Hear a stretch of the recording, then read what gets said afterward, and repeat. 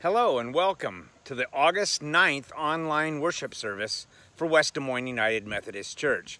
My name is Mark Wilson and I'm really glad you took the time to watch this worship service today. Please take a look at the Pathways. That's our monthly publication that just came out last week. Please take a look at that to see what's going on in the life of our church. And then also the link. That's our weekly publication. Please make sure you take a look at that. And within the link, as always, are the cares, prayers, and joys. Please keep all of those folks and situation in your prayers this week. Thank you for tuning in to this worship service. I pray that we all feel God's presence with us during this time.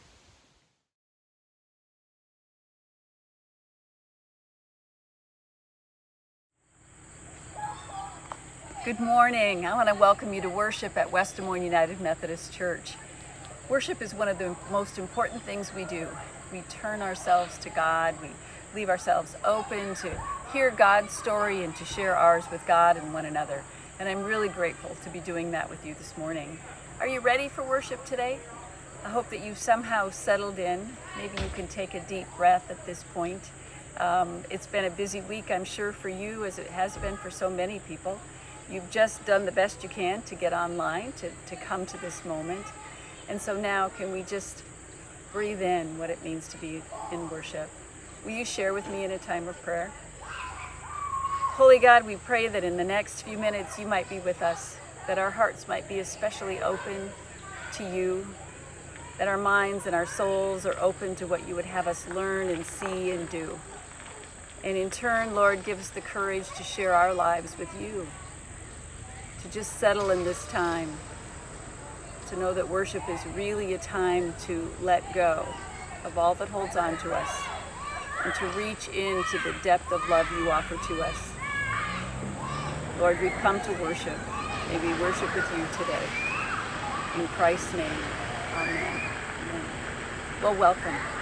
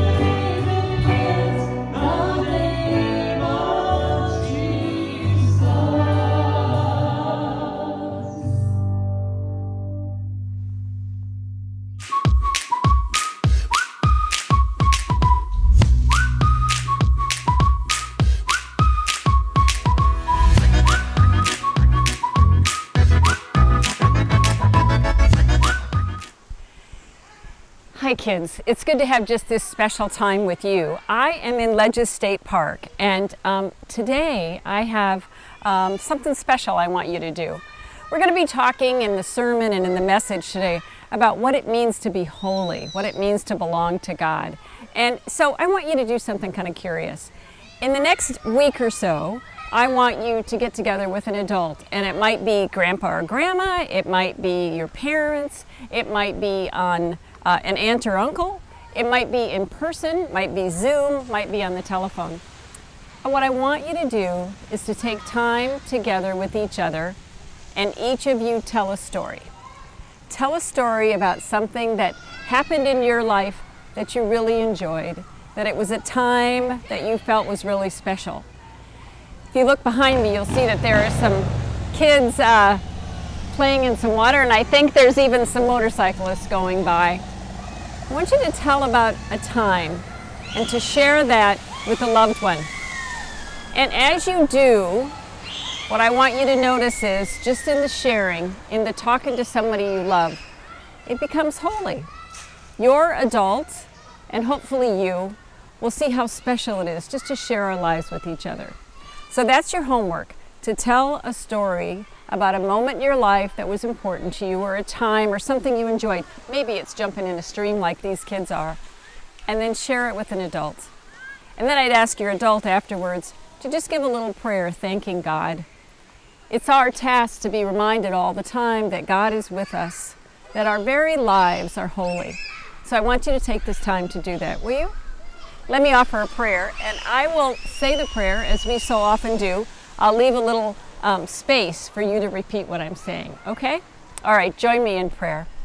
Holy God, there are times in our lives when we remember you are with us. When we share those moments with other people, they become holy.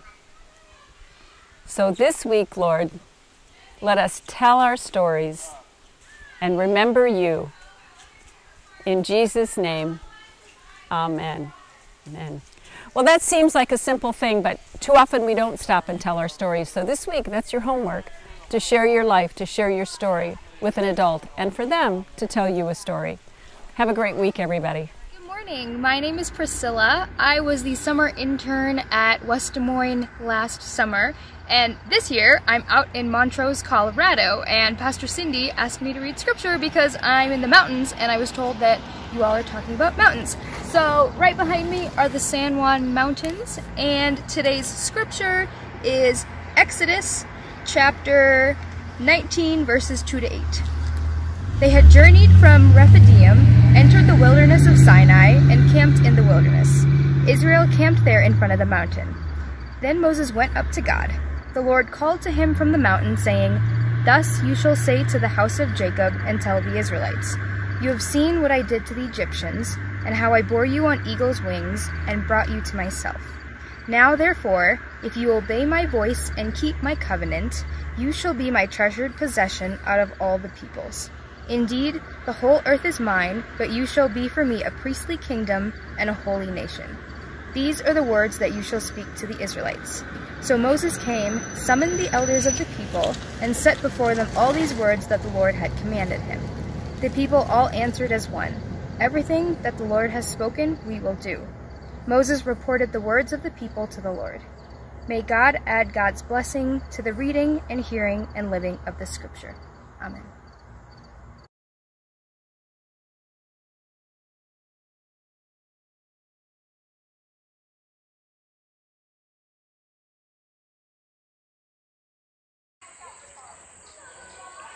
This morning in our sermon series, we continue with the series we started last week. We're heading to the mountains. Now, last week, Pastor Trevor was actually in Colorado, in the Rocky Mountains, on location for his sermon. I don't have that kind of luxury. I am not there. And most of our sermon series, none of us will be in the mountains. We'll be um, headed to the mountains, maybe in pictures that we have, if we've traveled there, will be headed to the mountains in Scripture because certainly people in Scripture went to the mountains a lot. And maybe we'll be headed to the mountains Iowa style. Now, right now, I am in Ledges State Park, and um, this is what mountains in Iowa look like. You know, not exactly mountains, but still beautiful. Ledges State Park is near um, Boone, and if you haven't been up here and driven through in a while, it's something we can do this summer in this time when we are feeling so uh, isolated. Mountains, creation, has always inspired people. I think when we look at some sort of cliff that leads us up, it makes us think about God and the power of God lifts us up from maybe what's happening in the, our lives around us. So today we're headed to the mountains with the Israelites. Will you join me in a moment of prayer? Lord, this scripture, the story of these Israelites stuck, really. You know, they were somewhere between slavery and freedom. Maybe that's true of us as well. We find ourselves between a time when we're captured by what's going on around us and the freedom that you offer. Lord, we pray that we take this scripture in, that we walk along with the Israelites, we camp with them a little bit, we hear what you have given them, what you have asked them to do, and may we, Lord, hear those same words in our lives and follow you. I would ask, Lord, that you look kindly on this pastor and on everyone who's gathered watching this service today.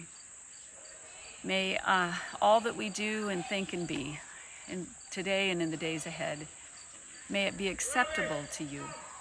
We offer this in the strong and certain name of Jesus Christ. Amen. Amen. Well, let's head up the mountains.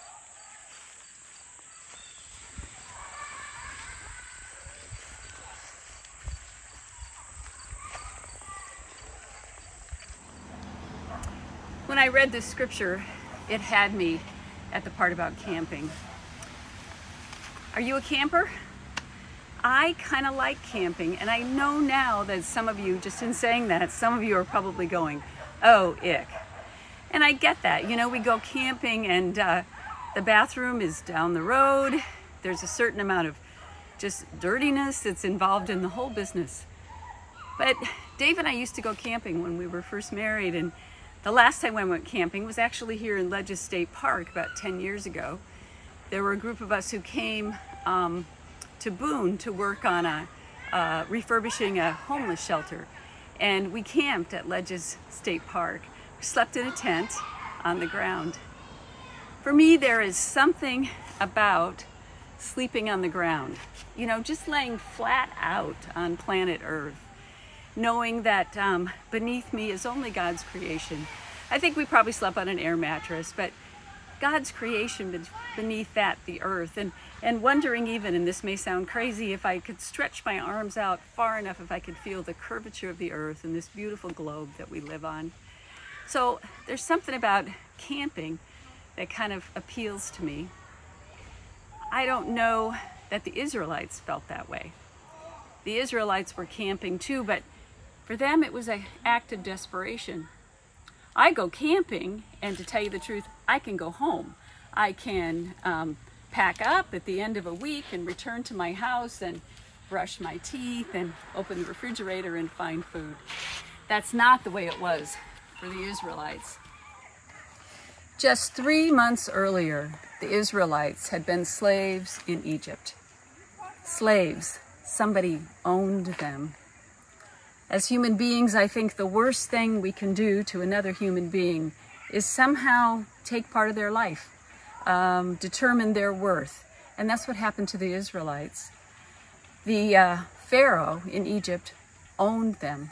Slavery, that's one kind of taking control of someone else's life. War, that's another, where actually you take a life to win a war. But there are other kinds as well.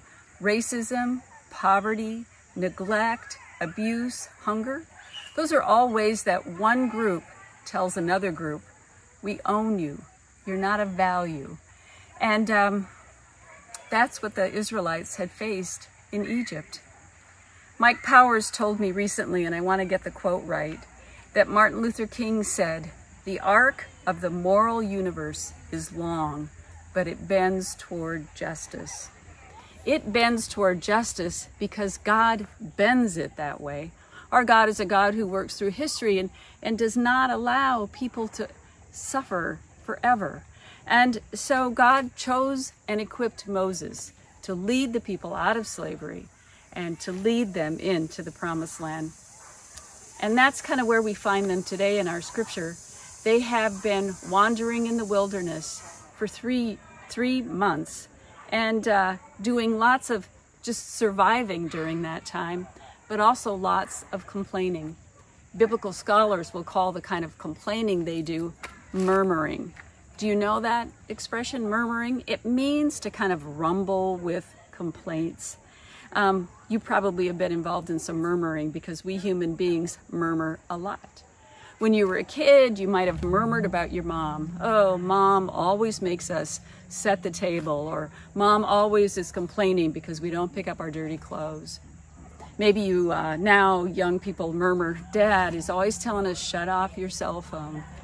You might murmur at work about a boss who's particularly a, a micromanager that seems to be on your case all the time back in the day when we could gather at the coffee shop, it was pretty much a sport here in the US to murmur about the government, to complain about the ways of the world and what was happening. Murmuring, maybe, is uh, the first expression of a people who have been hurt and they're beginning to regain their voice. When the Israelites were slaves, there was no sense murmuring. There was no one who was going to hear. There was no action that was going to be taken. But now they're murmuring. Now they know that there's someone listening. So they wander in the wilderness for these three months, and there are things to murmur about, things to complain about. At first, they came upon water, and the water was bitter, and they murmured, and God heard their cries, and God made the water sweet. Then they murmured about what they would eat. They worried that they would go hungry, and so God heard their cries, and God sent manna from heaven and quail so that they would have food to eat. At one point, there's no water at all, and God tells Moses to take his staff and strike it on a rock. And when he does, water comes from that rock. And even in all this, that they are surviving, there's still murmuring going on. And that murmuring is maybe they should just go back to Egypt. It's murmuring that's built on anxiety and fear. This is all too much. They can't handle it. And they wonder if they should return back to the slavery they'd experienced. But now they find themselves camped at the foot of a mountain. That's not a bad place to camp. If you're on a mountaintop, that mountain will catch rain as it goes by, and so water will come down the mountain. And that means that they'd have fresh water. It also means where there was water, there'd be vegetation and, and animals, so they'd have food to eat. So it might not have been bad. But those Israelites might have felt like they were trapped, that their backs were against that mountain and there was nowhere to go. And there they were at the base of a mountain.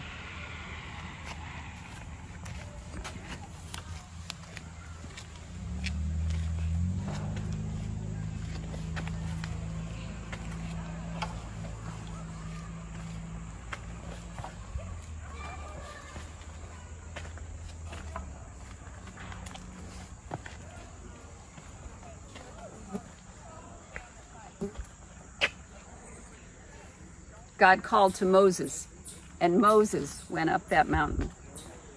And then you have this wonderful speech, these words that God shares about the Israelites, about all people actually.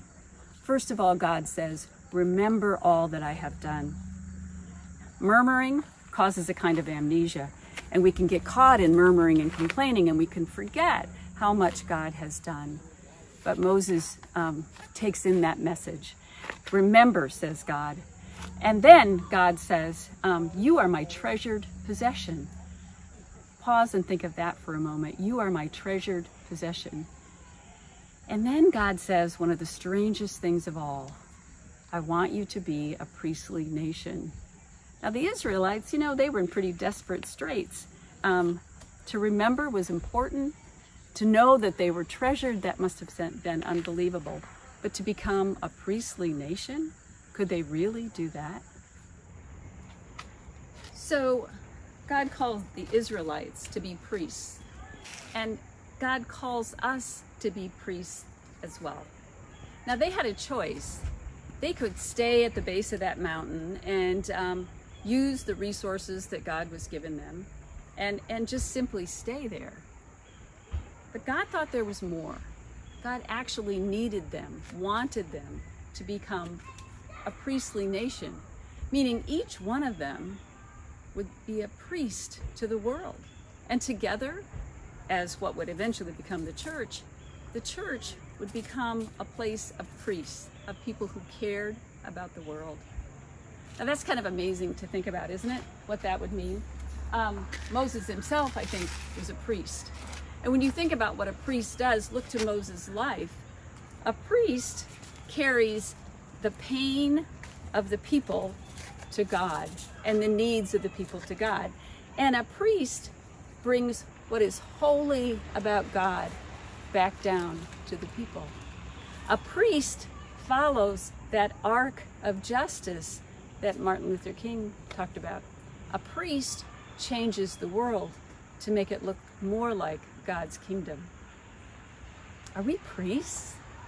You know, I know I'm a pastor, but to tell you the truth, a lot of what I do doesn't feel very priestly to me. Um, oftentimes, what I do in the church is simply administrative. I think there have been moments, I hope there have been moments when I've been a priest, but, um, but this business of carrying up to God the needs and the concerns of the people and bringing God down to the people, following the arc of justice, that's what a priest really does. I used to joke, Bob Pace, you may know Bob Pace, and I used to joke with Bob Pace. He's a blues singer, and he would sing a song called Give Me Jesus, and he would sing it with such um, emotion, so much um, meaning in it, that I would say to him, I may be a pastor, but Bob, you're my priest. I felt like he was carrying my pain to God and bringing God's holiness to me. Um, I think about um, John Lewis, who just died this week.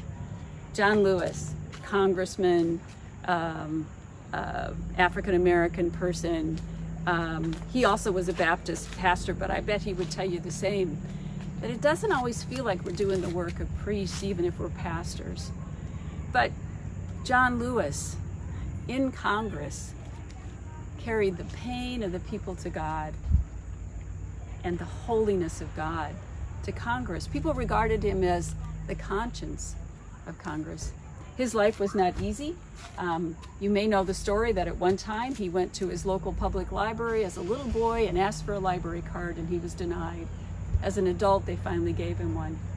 But nonetheless, he was someone who could be this conduit, who could go up to God and bring down holiness to the people to change their lives. I think about, uh, this may sound odd, but our college students are headed off, you know? Um, we have lots of college students who uh, just graduated, students who just graduated from high school, and I can call you by name, but I won't. You can look at each other now if you're sitting here, uh, look at your families. You're going off to college, you're going to get your education, wonderful things are happening, happen. We want you to hear the message that the Israelites received. Remember all that God has done in your life. Know that you are treasured. But then also, what if you go off as priests, as people who go off to college to retain the sense of holiness, to bring it to other students, and to carry the pain of the students or the concerns or the worries, the joys as well, to God, to follow the arc, that arc that leads toward justice. I don't know if our college students think of themselves as priests, but maybe they are. What's the current mountain in your life? You know, our Israelites were, their back was against the mountain, and that's where um, Moses would go up the mountain to hear what God had to say. I suspect for each one of you, there's some sort of mountain that you're facing some time in your life. Maybe it's it's aging, maybe it's parenting, you know, our college students off to college. Maybe you're a teacher this fall and you're wondering, how's that going to be? What's that going to be like to teach in a classroom now during this pandemic? Whatever it is in those places with what you're doing, you're to be a priest. All of us to be priests. Isn't that a curious thing? God has asked us to do that for God. This is not news to you, but COVID 19 is raging. Now, um, as I'm recording this, there's 830 plus persons who've died from COVID. Thousands of people in the state of Iowa alone have come down with COVID. Right now, that's our mountain. And like the Israelites, we're camped at the base of it. And in many ways, we can feel like our back is up against that mountain of COVID. What are we to do? And you're good citizens. So there are things that you can do, um, actions you can take. But we are also called to be priests. A curious thing happened recently.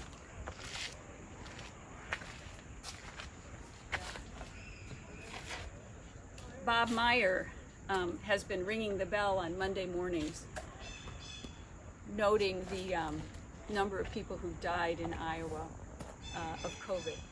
This all started the first week of June. The Des Moines Area Religious Council has uh, asked us um, to ring our bell. And not all churches have bells, so we're blessed to have one. So we rang our bell. And um, that first June morning, there were other people who came to watch. Um, we've been ringing it ever since. And this week, WHO Channel 13 came and taped us and, and showed it as a news story. And you may have seen it. You can go to their Facebook page if you want to see it. The morning that they came, they were very excited about the bell and they wanted to hear what we had to say. They asked Bob to tell his story as to why it's so important. I left that time with a whole different sense of what we do on Monday morning. You know, it may be on Monday mornings we are being priests to our neighborhood, to our community, to our state. When we ring that bell, when we pull that rope down, maybe we're pulling down the holiness of God and reminding people that this isn't just a number or a statistic, it's people. And maybe when we let that rope swing back up and that bell tolls, maybe we're taking the pain and the suffering of the people and we're sending it back up to God. Maybe we're doing our part as a church that is a church of priests, intending to our neighborhood and our state. We're following the arc of history that bends toward justice. I don't know. Something in me this week thought, this is the work of a priest. This is what God has called us to do. So I was thrilled when I read this scripture and was reminded that God is in this. Even though our back is against the, the mountain of this pandemic, God is in it. I'm going to leave the sermon there. What did God say? Remember, remember all that God has done for us. Do not let murmuring, complaining, a time of struggle, do not let us forget all that God has done. What else did God say? We are treasured possessions. No one owns you but God. And whatever may have happened to you in your life, good or bad, God still declares you God's own. And the last thing, the thing that kind of flips the switch, that really completes our relationship with God, God has asked each and every one of us, and us together as the church, to be priests, to bring the holiness of God to earth, to share it with others, to bring the pain and suffering to God, to follow that arc that all may live in justice. Amen. Well, good morning. You know, sometimes we go to the mountains uh, to escape, right? We go because we, uh, especially you know, from Iowa, we go because it's it's someplace a little different. Sometimes we go to the mountains because we're looking to seek God. I think even when we go, whether it's for escape or maybe it's for adventure, all of it's really to seek God. And we don't always actually physically get to go to the mountains. Sometimes we just go in our minds, right? We we go to these places where we know um, we're pretty sure we're going to encounter God. So this morning I want to offer a prayer that is really about, about us encountering God. So will you pray with me? Holy and gracious God, we give you thanks for all of creation, for fields, for mountains, for the ocean. God, we just, we give you thanks because whenever we see creation, whenever we immerse ourselves in creation, God, we, we can't help but to encounter you. So we ask this morning, oh God, that, that you be with us. That you, that your Holy Spirit would guide us. That you would know that we are on this uh, never ending adventure of seeking you. God, because we want to encounter you. Because we know when we do that our lives will change.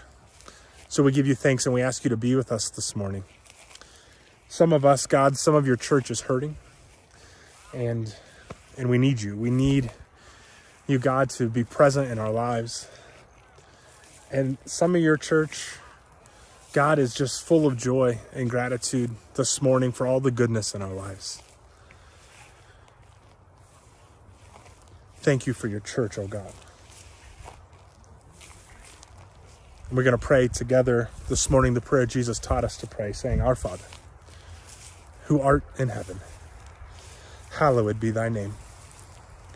Thy kingdom come, thy will be done, on earth as it is in heaven. And give us this day our daily bread. Forgive us our trespasses as we forgive those who trespass against us.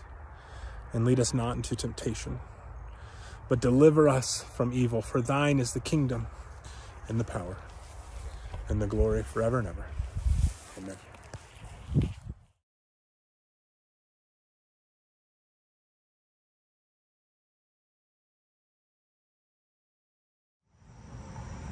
Hi, I'm Sue Brownlee. I'm chair of our church council. I'd just like to thank everybody for being here this morning. We all um, are happy that we're able to um, participate, and I'm thankful for all of you and for your support of the church. Thanks.